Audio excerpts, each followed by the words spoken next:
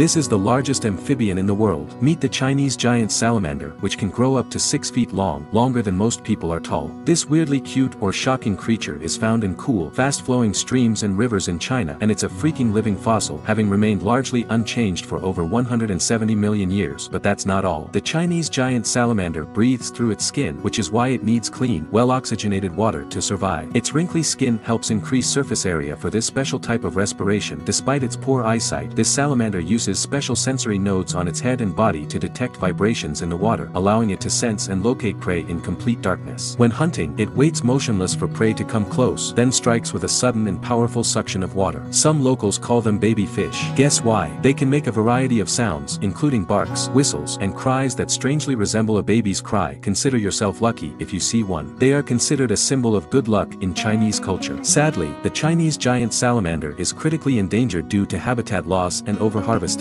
Don't let us be the reason these 170 million year old wonders go extinct.